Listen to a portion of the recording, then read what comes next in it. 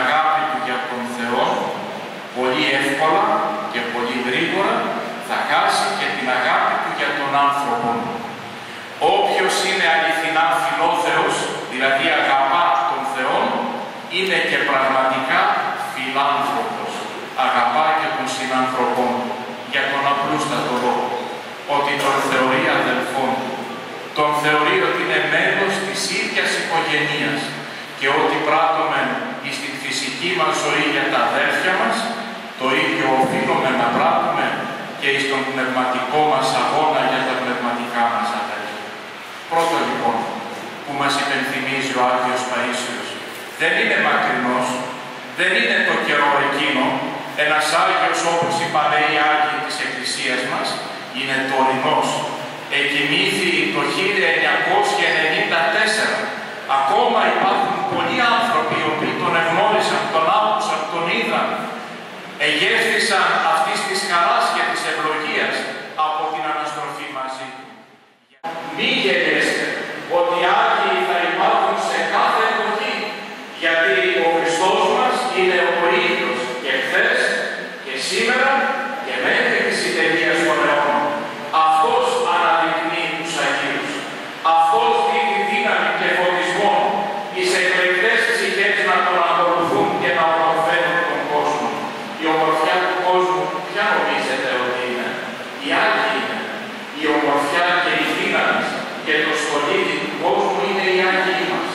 Οι οποίοι είναι το στήριγμά μας, η παρηγοριά μας. Είναι εκείνοι οι οποίοι μας δείχνουν τον δρόμο για τον ουρανό. Είναι εκείνοι οι οποίοι μας σκεφάζουν τις προσευχές τους. Η πρώτη αλήθεια λοιπόν που παρακαλώ να κρατήσετε είναι αυτή.